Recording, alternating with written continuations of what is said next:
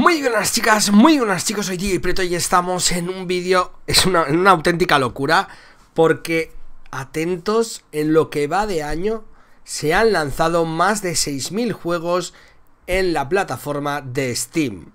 Y para que os sorprenda más este dato, es la misma cantidad de, de juegos, de títulos, que se estrenaron entre 2005 y 2015. Así que imaginaros la barbaridad de la que estamos hablando.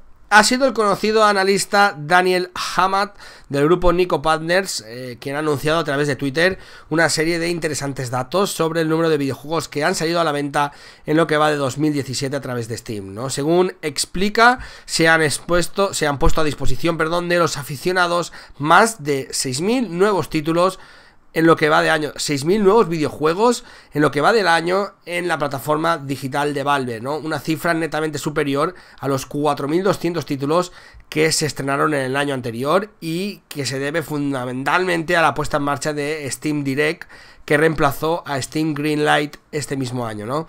La cifra de videojuegos lanzados a lo largo de 2017 todavía irá en aumento, lógicamente, ya que todavía queda medio mes de noviembre y el completo de diciembre y resulta llamativo que es un bagaje de estrenos casi tan amplio como el de la totalidad de los productos que se lanzaron entre 2005 y 2015.